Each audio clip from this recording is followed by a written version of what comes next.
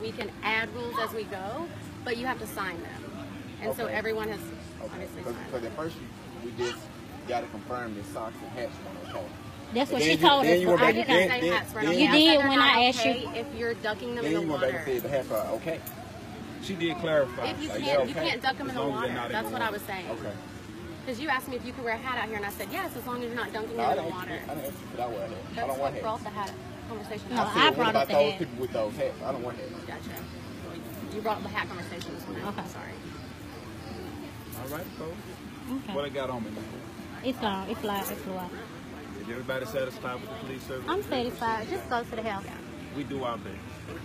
And uh, I understand. I certainly understand your position. I certainly understand your position. It's just a matter of somebody coming to an amenable agreement to ensure that everybody's Fourth of July is not ruined over something. I mean, it's ruined now. Well, She had to call the police, and when she didn't address well, anybody sure else out the here, two of you, it's ruined. it's ruined. They don't know what's going on. And I mean, it's. Not, I'm just gonna get my stuff before you leave because I Yes, am gonna leave. I want my, my rent gonna be free my rest of the month, and somebody won't have a job. Girl, whatever.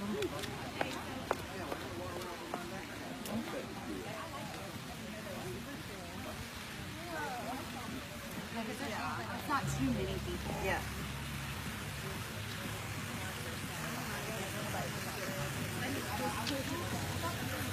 These are her friends.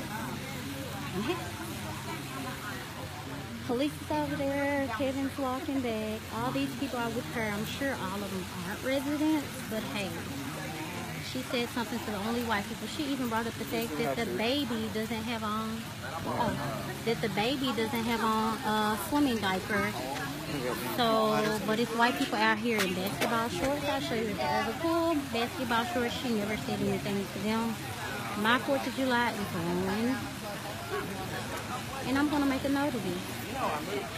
Definitely give me a note.